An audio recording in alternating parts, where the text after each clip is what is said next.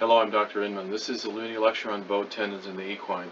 When the equine basically ends up with injury to the digital, superficial and, and deep digital uh, flexor tendons of the forelegs, essentially, and the, and the rear legs, we end up with the actual um, uh, connective tissue breaking down, scarring, and actually bowing the tendon. It's called bowed because they bow out essentially, but they may be swollen all down the length of the actual tendon itself.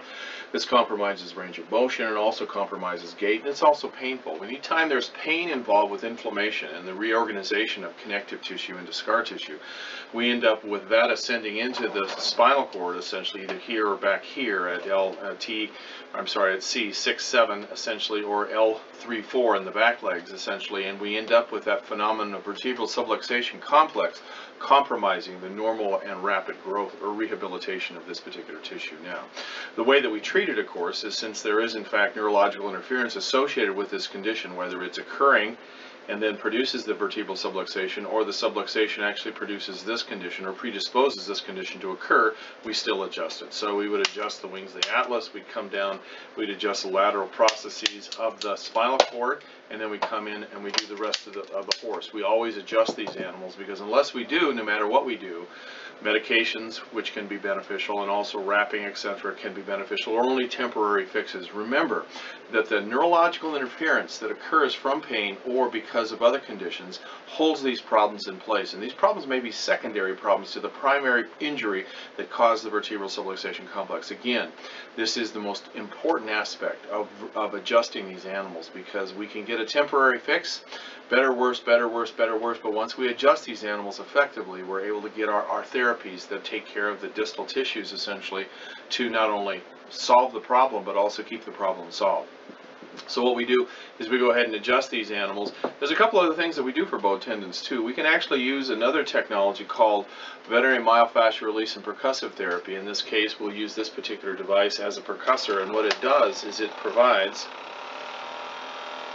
a very rapid pulse that we'll put on the actual tissue. We'll put it on the bowed tendon. I don't have a horse here to show you, but nonetheless what we do is we'll put it right on the tendon at a high speed for about three minutes. And then what we'll do is we'll turn it down and put it on a low speed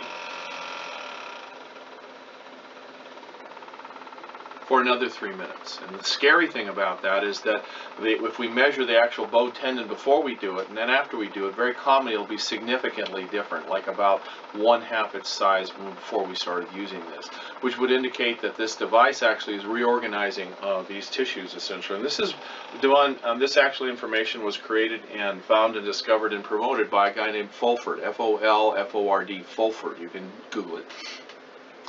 What he found is that in the connective tissue that we see when we autopsy these horses, we see essentially fibrous connective tissue or a scar that looks like this. Scar tissue is collagen basically laid down in an idiosyncratic uh, way, like this. There's no, there's no motion along that, and so it's going to produce a large bowed tendon, and the tendon becomes quite large because it's like scar tissue.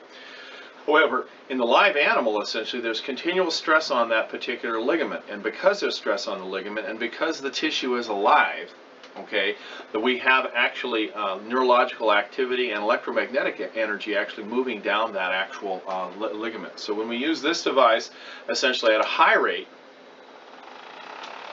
we put all those live collagen fibers, which are semiconductors, into solution. And then what, after that, what we do is we do it at a low frequency, and it aligns them along those those powerful uh, uh, uh, areas, uh, along the stress lines, essentially, and that's why it reduces. We can also utilize a technology involving uh, 9, 16, 42, 53, and we can actually lase these particular tissues and get pain relief and also rehabilitation and reorganization of those collagen fibers using this particular um, method too. The magic number here is 20.5, which actually reorganizes the collagen fiber. This uh, technique for treating a bow tendon, the front legs and also the rear legs of the horse actually has been very, very successful for us.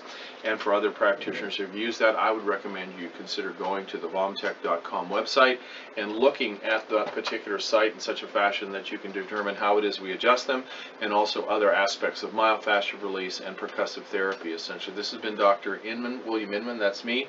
Please seek the vomtech.com website out for more information where we'll show you how to do this technique for free and why it works for free essentially, and if you can get through those first three uh, introductory videos, we'll show you how you can actually download the whole of Module 1, which costs $375. We can basically show you how to download all of that data for free.